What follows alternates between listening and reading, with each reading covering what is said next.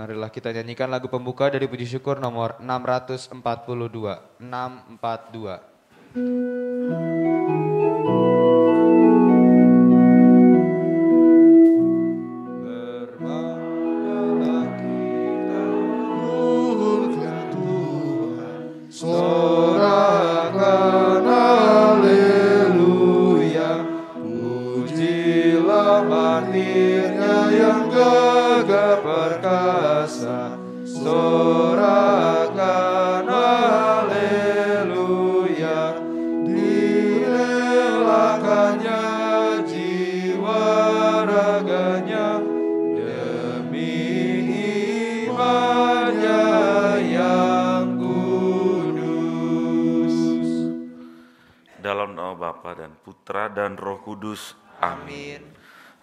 Tuhan kita Yesus Kristus, cinta kasih Allah dan persekutuan Roh Kudus bersamamu. dan bersama rohmu.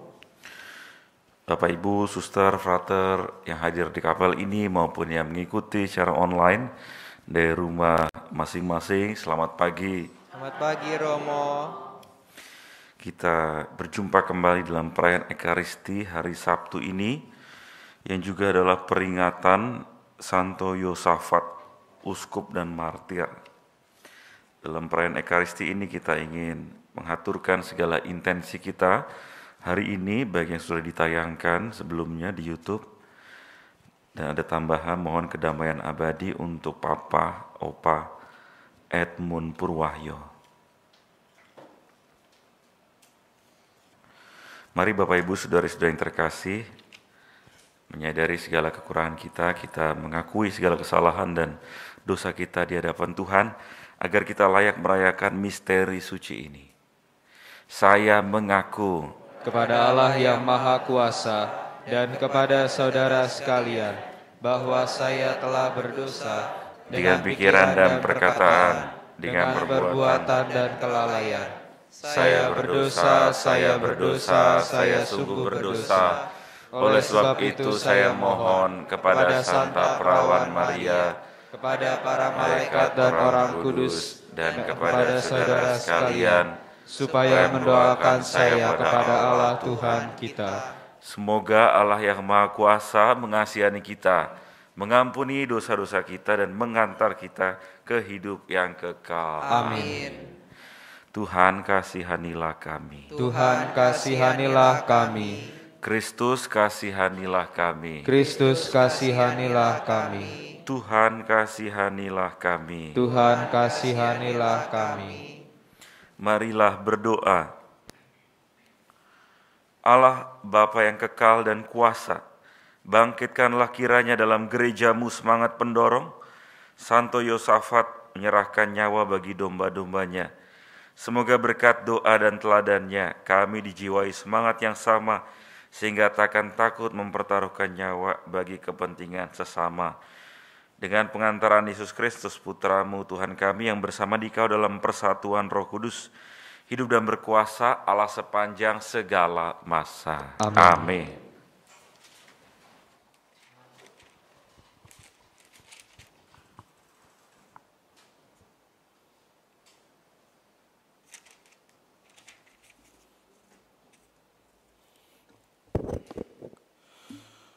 Pembacaan dari surat ketiga Rasul Yohanes.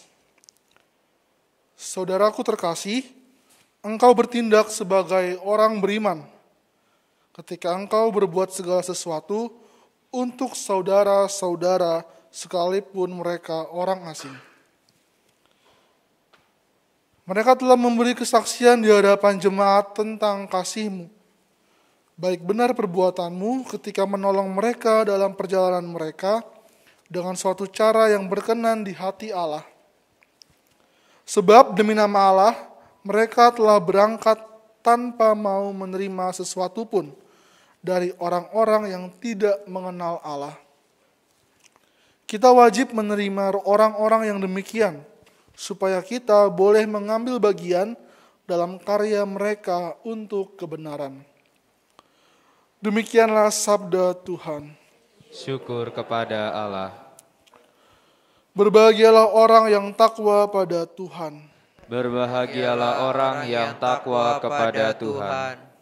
Berbahagialah orang yang takwa pada Tuhan, yang sangat suka kepada segala perintahnya.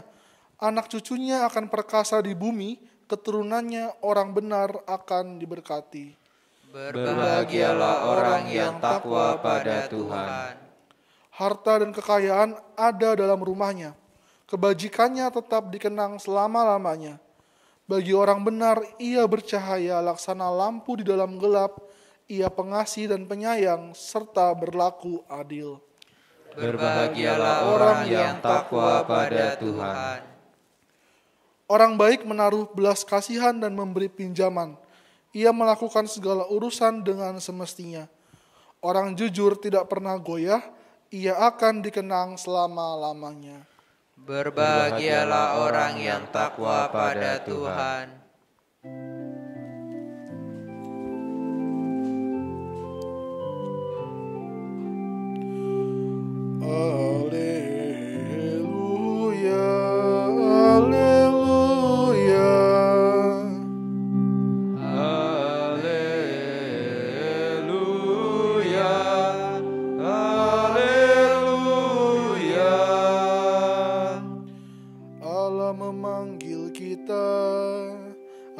Kita memperoleh kemuliaan Tuhan kita Yesus Kristus. Haleluya. Haleluya.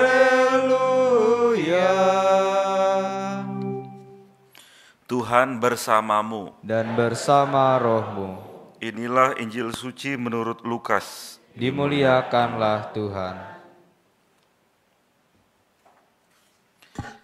Pada suatu ketika Yesus menceritakan suatu perumpamaan kepada murid-muridnya untuk menegaskan bahwa mereka harus selalu berdoa dengan tidak jemu-jemunya.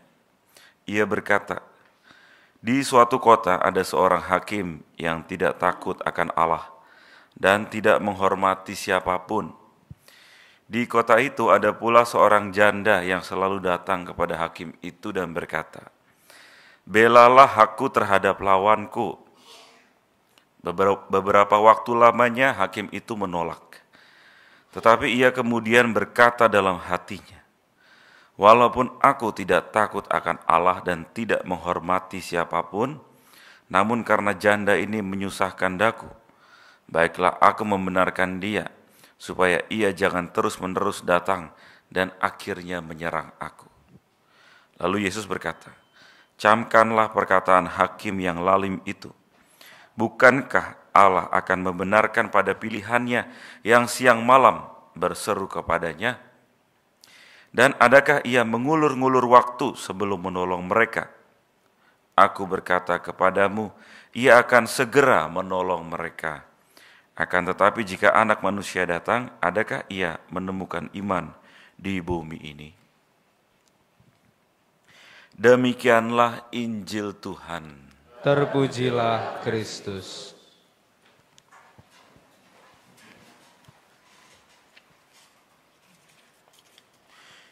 Ibu bapak saudari saudara yang terkasih, pernahkah mengalami ya mungkin akhir-akhir ini ya doanya terkabul ya pernah ya gimana rasanya ya. Senang ya. Bahagia. Bersyukur ya. Doanya eh, menjadi kenyataan ya yang kita doakan ya. Entah untuk diri kita sendiri ataupun untuk orang lain ya. Kemudian dikabulkan oleh Tuhan. Minta pekerjaan kemudian dapat yang cocok ya. Minta jodoh kemudian habis misa ketemu ya perempuan minta jodoh. Habis misa ketemu cowok ganteng ya terus jatuhin tisu ya ngambil berdua teret teret ya bisa jadi ya. Hmm. atau minta keberhasilan ya dalam ujian ya. keberhasilan dalam skripsi. Nah ini lagi dimohonkan oleh para frater mungkin ya untuk bisa berhasil dalam skripsi dan tesis mereka ya. Di grup Haheho kemarin juga ada yang cerita ya bersyukur karena permohonannya dalam ziarah kemarin terkabul ya dikabulkan oleh Tuhan ya. Dan kita yang mendengarnya juga ikut ke bawah bahagia ya. Ketika orang lain uh, men-sharingkan pengalaman itu. Tapi pertanyaan berikutnya adalah pernahkah juga ya doa kita tidak terkabul? Ya. Pernah ya, sering. Waduh, lebih sering terkabul atau tidak terkabul Bapak ya. ya, berdoa supaya hari ini cerah. Eh ternyata diberi hujan. Ya sebaliknya minta hujan, oh panas terus. Ya, minta supaya bisa jalan-jalan ke Holy Land. Ya, baru bisa jalan-jalan ke Holland. Ya Holland Bakery maksudnya ya. Ya. Mungkin ada perasaan kecewa ya. Ada perasaan eh, marah bisa jadi ya. Atau juga kesel sama Tuhan ya. Kenapa diberi pengalaman seperti ini? Kenapa seperti rasa-rasanya kok doanya tidak didengarkan? Atau doanya nih kenapa enggak terwujud ya? Apa yang kurang dalam doa atau apa yang kurang dalam hidupku, apa yang kurang dalam persembahanku. Bapak Ibu Saudari Saudara yang terkasih, bacaan Injil hari ini menawarkan satu pesan pada kita ya, mengenai pemaknaan berdoa. Yesus mengambil contohnya antara hakim yang lalim dan juga janda. Ya eh, hakim itu awalnya tidak mau ya mengabulkan permintaan janda ya. Tapi lama kelamaan karena tiap hari mungkin ya didatengin rumahnya ya atau ke mana-mana diikutin sama janda itu ya. Lalu akhirnya hakim ini pun luluh. Ya udah sini perkara kamu saya selesaiin ya. Tapi setelah perjuangan dari eh, janda tadi ya untuk terus menerus terus menerus meminta kepada hakim itu supaya perkara dia e, diselesaikan. Dan kiranya pesan ya, pesan ini sudah sangat jelas ya dengan sendirinya Yesus juga mengatakan berdoalah dengan tidak jemu-jemu ya. Entah itu doa kita terkabul atau mungkin belum terkabul atau tidak terkabul ya berdoalah dengan tidak jemu-jemu. Ajakan Yesus adalah untuk selalu membina relasi dengan Dia, ya, dengan penuh kesetiaan. Ya. Bahwa doa itu tidak e, semata-mata ya, supaya semuanya terkabul, ya. walaupun harapan kita itu. Ya. Tapi kita juga siap ya kalau doa yang kita panjatkan itu ternyata bukan merupakan kehendak Tuhan untuk saat ini. Tetapi dalam iman kita percaya ya bahwa yang terjadi adalah kehendak yang terbaik untuk hidup kita. Dan ini yang kita bawa ya dalam permenungan kita hari ini berdoa dengan tidak jemu-jemu. Ketika COVID kemarin ya saya juga ngalamin ya ehm, berdoa supaya dijauhkan dari penyakit COVID ya. Tapi ternyata malah dikasih ya penyakit itu ya diberikan ya. Lalu berdoa pasti berdoa supaya sembuh ya dan juga berdoa supaya bisa menerima pengalaman ini. Lalu kalau kita lihat ke belakang lagi ya pengalaman seperti itu ya. Ternyata ada kehendak Tuhan ya yang diinginkan terjadi dalam hidup saya misalnya ya. Jadi saya lebih peka ya lebih tahu ya. Senasib seperasaan sama mereka yang covid ya. Jadi ketika khotbah itu khotbahnya ada isinya gitu ya. Jadi ketika sharing covid tuh benar-benar ya pernah ngalamin ya. Lalu yang kedua adalah semakin merasakan bahwa kita butuh ya kekuatan Tuhan dalam hidup kita. Tidak selamanya lurus tidak selamanya apa yang kita inginkan terjadi ya kadang diberi pengalaman itu supaya semakin iman kita dikuatkan. Ya, ya saya mengalami pengalaman itu ya kekuatan bahwa Tuhan menyertai, Tuhan yang melindungi dan Tuhan yang menyembuhkan. Ya, kalau nggak ada pengalaman itu ya bisa jadi belum dapat ya insight seperti itu. Ya, yang berhubungan langsung dengan uh, kehidupan, dengan uh, hidup dan uh, mati. Bapak Ibu Saudara yang terkasih, ya, hari ini kita memperingati Santo Yosafat juga, ya, uskup dan martir dari daerah Rusia. Ya. Dia berdoa dengan tidak jemu-jemunya demi persatuan gereja timur, ya, supaya gereja ortodoks bersatu lagi dengan gereja Roma Katolik dan tidak selalu mulus ya bahkan akhirnya dia dibunuh ya, oleh eh, orang-orang yang tidak suka dengan persatuan itu ya tidak suka dengan kesatuan gereja ortodoks dan gereja Roma ya. akhirnya Santo Yosafat ini menjadi martir ya karena usaha dia untuk mendamaikan ya, dua gereja tersebut dan sekarang akhirnya ya berkat jasa Santo Yosafat ini gereja ortodoks menjadi bagian dari keluarga besar gereja Katolik Roma ya. Ini adalah salah satu ya buah dari kemartiran Santo Yosafat dalam mempersatukan gereja. Maka mari Bapak Ibu, saudara-saudara terkasih semua hari ini mari kita tiada hentinya berdoa ya dengan tidak putus, dengan tidak jemu-jemu ya. Kita serahkan segala pengalaman hidup kita kepada Tuhan ya. Karena doa adalah ungkapan iman kita. Doa adalah bentuk penyerahan diri ya. Semoga kita semua bisa belajar sama Bunda Maria yang berdoa pada akhirnya terjadilah padaku menurut kehendakmu ya. Inilah bentuk penyerahan diri yang total dalam doa yang tidak bersyarat ya. Karena seperti lagu berkata ya, Doa orang benar bila didoakan dengan yakin besar kuasanya. Ya, itu yang kita percaya. Doa orang benar bila didoakan dengan yakin akan besar kuasanya. Ya, dengan doa kita menyadari bahwa kita ini orang yang butuh pertolongan orang lain. Kita butuh kuasa yang lebih besar untuk menolong kita. Doa mengantar kita pada pengalaman iman akan Tuhan. Tuhan Yesus memberkati. Amin. Amin.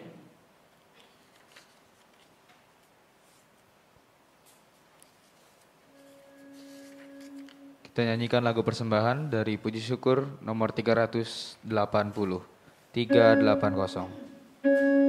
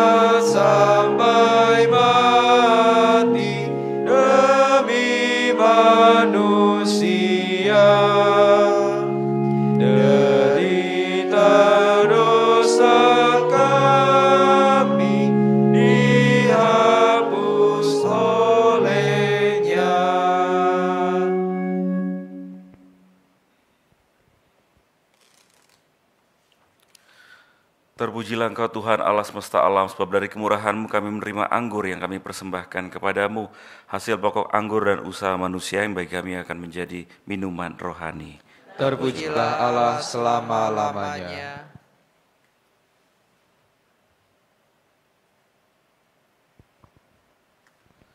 Berdoalah saudara-saudari terkasih supaya persembahanku dan persembahanmu berkenan pada Allah Bapa yang Maha Kuasa. Semoga persembahan ini diterima demi kemuliaan Tuhan dan keselamatan kita serta seluruh umat Allah yang kudus. Allah Bapa yang Maha Kasih, limpahkanlah berkatmu atas persembahan ini dan teguhkanlah kami dalam iman yang dipegang teguh oleh Santo Yosafat sampai menumpahkan darahnya dengan pengantaran Kristus Tuhan kami. Amin. Tuhan bersamamu dan bersama rohmu. Marilah mengarahkan hati kepada Tuhan. Sudah kami arahkan, Marilah bersyukur kepada Tuhan Allah kita. sudah layak dan sepantasnya. Sungguh pantas benar, layak dan menyelamatkan. Kami selalu dan di mana pun bersyukur kepadamu, Tuhan Bapa yang kudus Allah Maha Kuasa dan Kekal, dengan pengantaran Kristus Tuhan kami. Sebab dalam pengakuan iman yang mengagumkan dari para kudusmu dan para martirmu, Engkau terus-menerus menyuburkan gerejamu dengan kekuatan baru dan memberikan kepada kami tanda kasihmu yang amat pasti. Demikian juga untuk menggenapi misteri keselamatan, kami dikuatkan oleh, oleh teladan mereka yang unggul dan ditopang terus-menerus oleh doa mereka yang berkenan. Maka Tuhan bersama para malaikat dan semua orang kudus, kami dengan sukacita memuliakan Dikau sambil berseru. Kudus, kudus, kuduslah Tuhan, Allah segala kuasa, surga dan bumi penuh kemuliaan-Mu, terpujilah Engkau di surga. Diberkatilah yang datang dalam nama Tuhan, terpujilah Engkau di surga.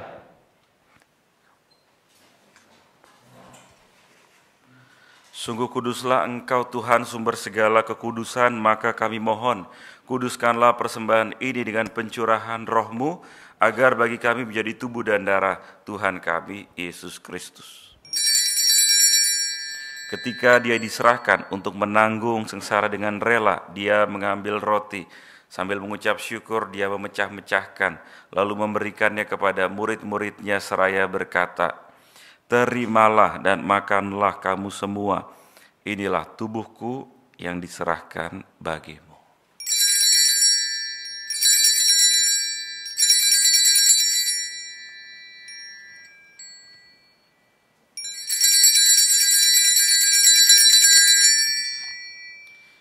Demikian pula sesudah perjamuan, dia mengambil piala, sekali lagi dia mengucap syukur kepadamu, memberikannya kepada murid-muridnya seraya berkata, Terimalah dan minumlah kamu semua.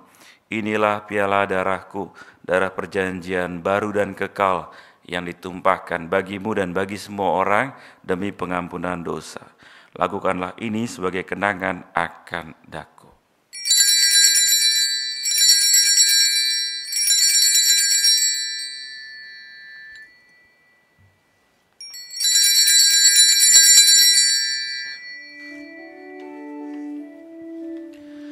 Marilah mewartakan misteri iman kita.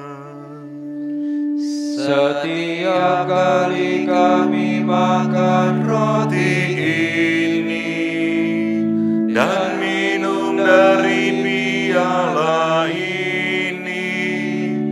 Wafatmu Tuhan kami wartakan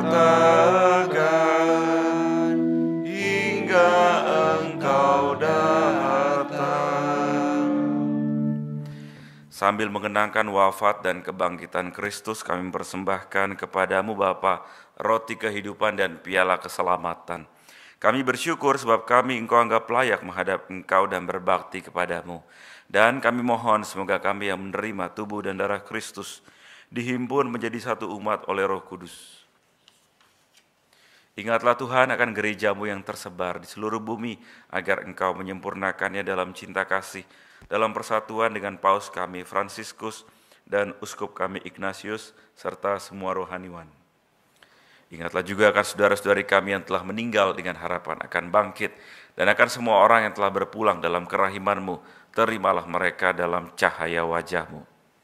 Kami mohon kasihanilah kami semua agar kami engkau terima dalam kebahagiaan abadi. Bersama Santa Perawan Maria Bunda Allah, Santo Yosef mempelainya, para rasul, semua orang kudus panjang masa yang hidupnya berkenan padamu. Semoga kami pun kau perkenankan turut serta memuji dan memuliakan dikau dengan pengantaraan Yesus Kristus putramu.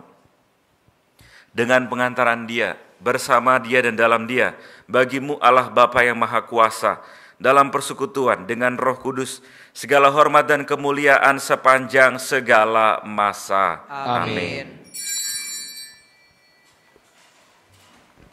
Atas petunjuk penyelamat kita dan menurut ajaran ilahi, maka beranilah kita bernyanyi.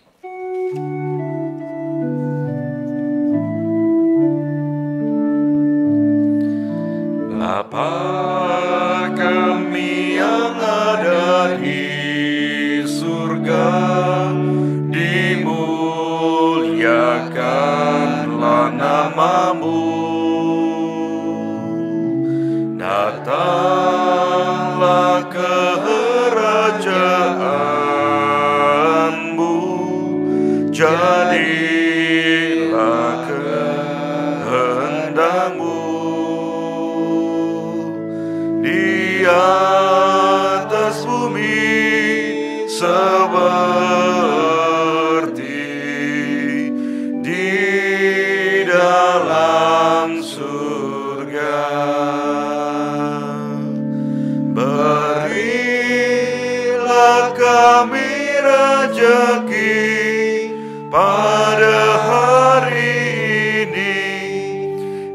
dan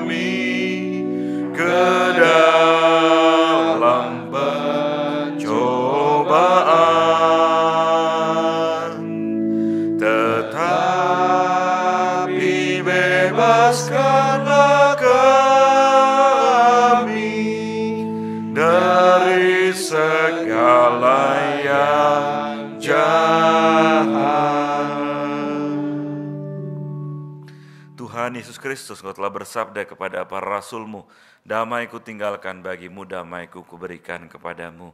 Janganlah memperhitungkan dosa kami, tapi perhatikanlah iman gerejamu, dan berilah kami damai dan kesatuan sesuai dengan kehendakmu. Engkau yang hidup dan meraja sepanjang segala masa. Amin. Semoga damai Tuhan selalu bersamamu. Dan bersama rohmu. Damai Kristus.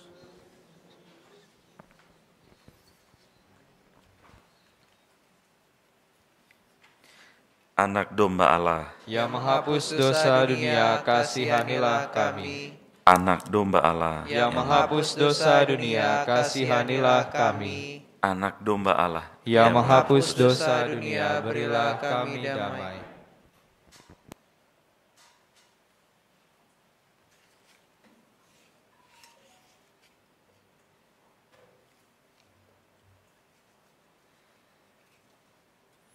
Saudara-saudari terkasih, lihatlah anak domba Allah, lihatlah dia yang menghapus dosa dunia. Berbahagialah kita yang diundang ke perjamuan anak domba. Tuhan, saya tidak pantas Engkau datang Pada pada saya, saya, tetapi tetapi bersabdalah saja, maka saya akan sembuh. Tubuh dan darah Kristus mengantar kita ke hidup kekal. Amin. Yesusku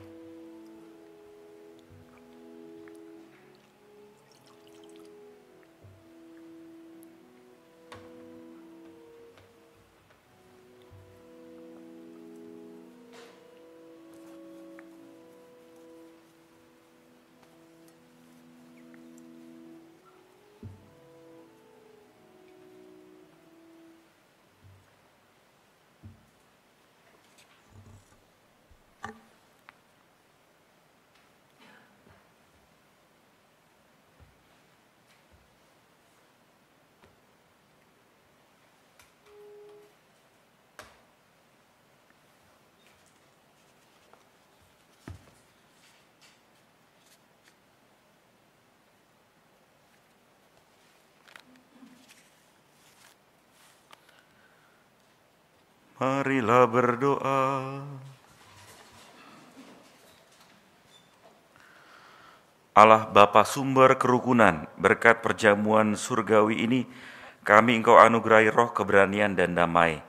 Semoga dengan mengikuti teladan Santo Yosafat, kami rela mengorbankan hidup kami, dan kami kau bimbing menuju keselamatan abadi.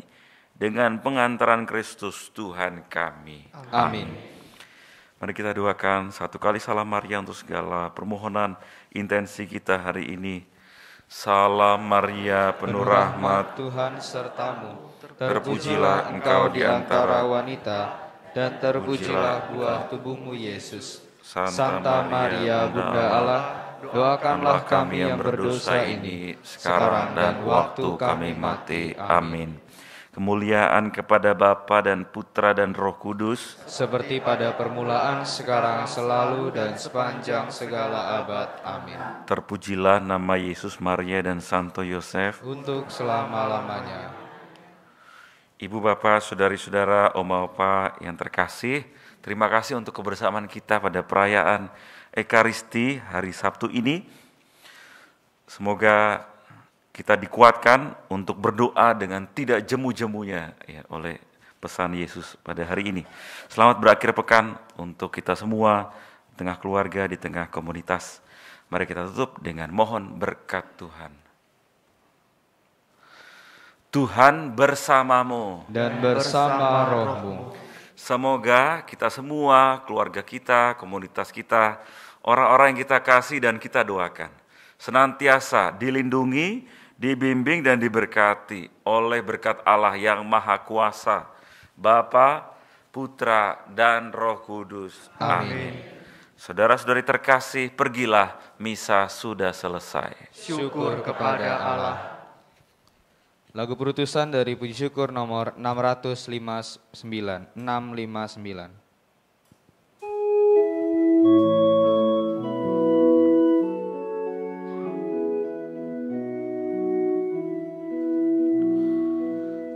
Cinta kasih Allah dicurahkan dalam hati umatnya oleh roh ilahi sumber kekuatan yang dikurniakan pada kita.